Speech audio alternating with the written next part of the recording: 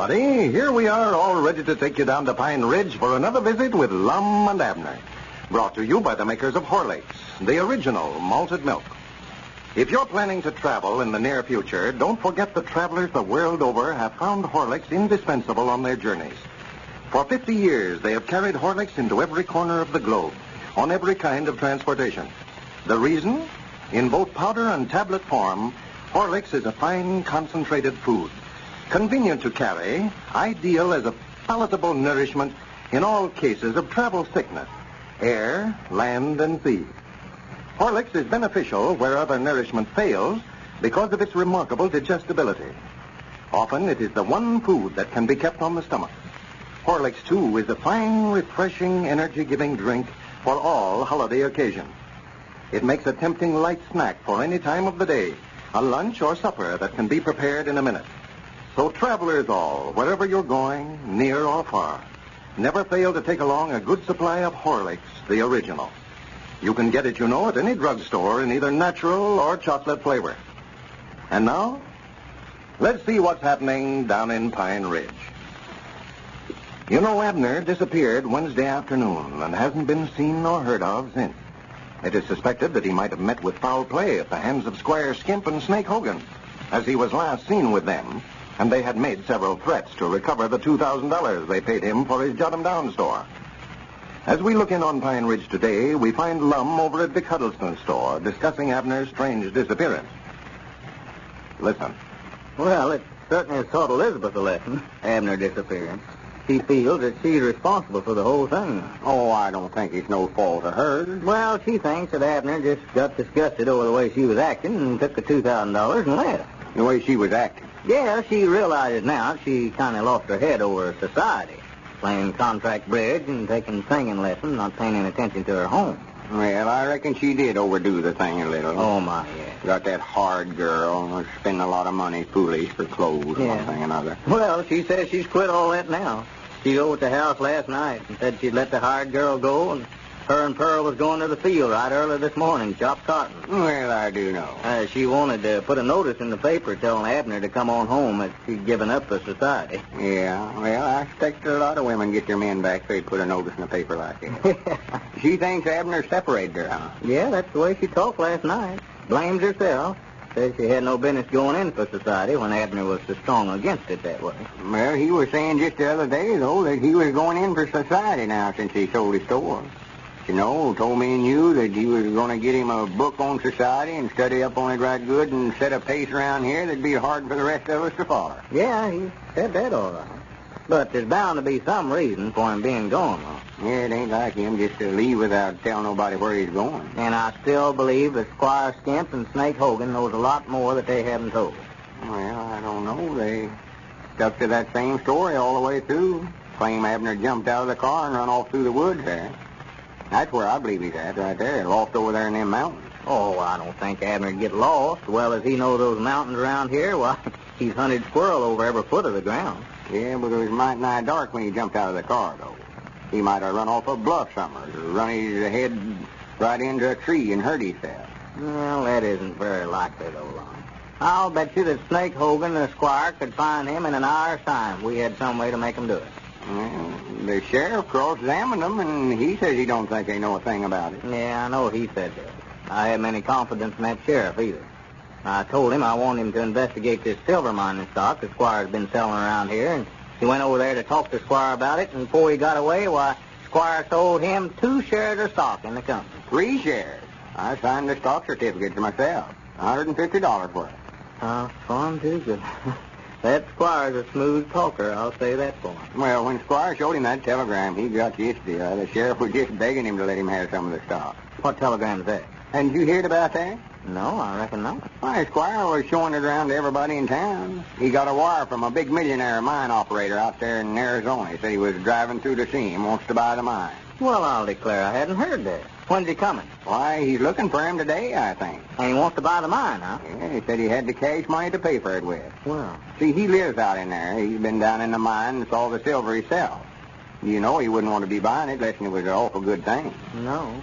Well, I hope he does buy it. Maybe you fellas that bought stock in it will make something else uh, after all out of it, Lum. Oh, it's looking better now than it ever did. Tell you the truth, I don't know where we ought to sell it or not. Why, sure I'd sell it. It just looks to me like if it's good enough that he'd want to buy it, why, we could make more if we just kept it and run it ourselves. You know he aims to make a profit on the deal. Yeah, but now if he's already in the mining business, like Squire said, well, he's probably got all the mining machinery and equipment that he'll need to mine it with, and he could make uh, money out of it where somebody else couldn't. No, sir. If he makes anything like a reasonable offer, well, I'd sure take him up on it. Well, Squire says he's going to call a meeting of the stockholders when Mr. Worthington gets here and let him make his proposition, and then they can all decide on it. Mr. Worthington. Yeah, that's the millionaire's name that's coming. Oh. Well, I haven't had a bit of faith in this proposition up till now, Lum, but maybe I was wrong. I hope so. Yeah, you, you're going to have your regrets when this thing's all over for not getting in on it. Here, the rest of us will be millionaires, you might say. Spend our winters in Florida and California. You'll still be down here running this store for a living. Yeah, maybe so. Better change your mind and buy a couple of shares anyway, Dick. Get that stock for us too late. No, no, I passed it up this far, Lum. I guess I'll just stay out of it. Probably making a mistake, but I've made lots of them before, I guess. Why, you could take a hundred dollars worth of stock and make you a dependence for the rest well, of your... there's Grandpap. Huh? Yeah. well, sir, I have to laugh every time I look at Grandpap in that sport outfit. Yeah. If he's not a sight. well, come in, Grandpap. Well, howdy, man. Howdy. Of hot today, ain't it? Yeah, it is awful warm today. Grandpap, you're going to have to get yourself a barrel, Summers, and stay in it while you get them slacks ironed.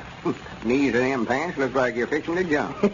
Yeah. Uh, Charity said this morning I ought to take 'em off and let her iron 'em. Uh, have you got any word from Abner yet? No, no, we haven't heard a thing, Grandpap. Not a thing. Well, sir, I'm just worried to death about it. Yeah, me too. Uh, Charity was a saying, though, that she heard yesterday at the bridge club that uh, it's being whispered around town that uh, Abner's just pulled out and left his woman. yeah, I heard some talk about that, too. Well, that's what Elizabeth thinks, you know, too. Well, I ain't no hand to gossip, but I know they weren't getting along any too well at last. Was having trouble over Elizabeth being in society, I think. Yeah, Abner wouldn't do nothing. He wouldn't take bridge lessons and quit his voice lessons, you know, after starting. Awful backwoodsy there for a while. But after he sold his store, he said he aimed to make up for lost time. Said he's going to show us all how society ought to be did. Uh-huh. He might have been just saying that, too, to throw us off in the track, knowing all the time he's going to skip out. Well, I can't hardly believe that Abner do that, though, Grandpap. I'm just afraid that it's something more serious than that. That's what's worrying me. Yeah, Dick here thinks Squire Skimp and Snake Hogan knows where he's at. Well, they were the last ones that he was seen with, Lum. And you know yourself that they forced him in that car down here Wednesday afternoon and drove off with him. We haven't seen him since. Yeah, they done that all. Why, sure they did. Yeah, I heard about that. Well, they claim, though, that he left them after they got down the road a piece there. See, Squire was driving the car, and Snake was holding Abner in the back seat there. And when he stopped, why, some way or other, Abner jerked loose and jumped out and tore out through the woods, heading for the mountains. There's where I think he's at. Well, I just wish there was something we could do about it.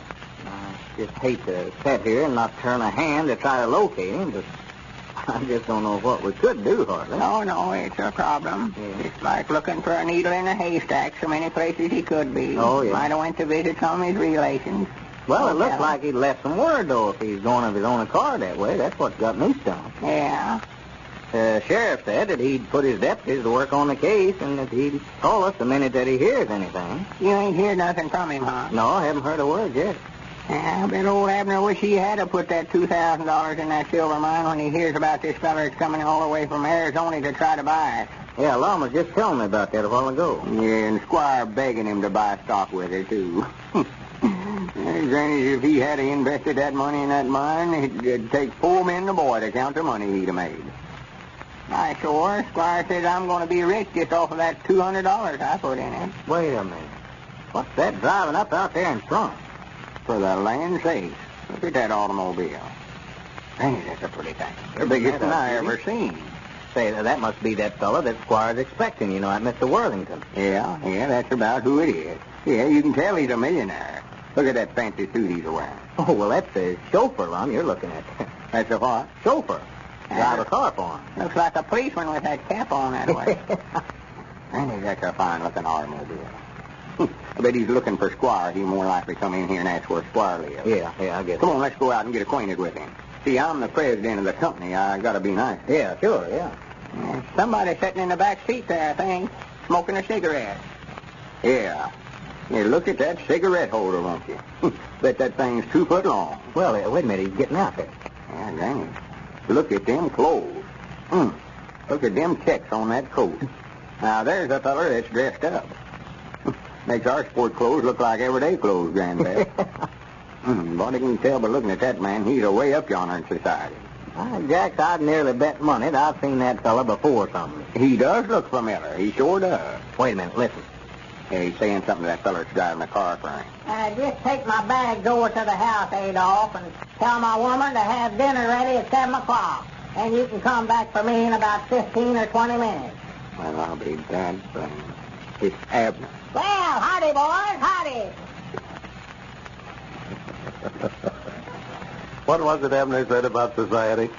He was going to set a pace in Pine Ridge that would be hard to follow. Well, he seems to be getting off to a big start. and now, we'd like to extend our congratulations and good wishes for the future to Mrs. E. Wilson of Paterson, New Jersey. She writes as follows to tell of her complete recovery from a very serious illness. I enjoy your program very much. And when I hear Horlicks mentioned, I always smile because it did such wonders for me after a recent illness. I just dreaded to see any kind of nourishment.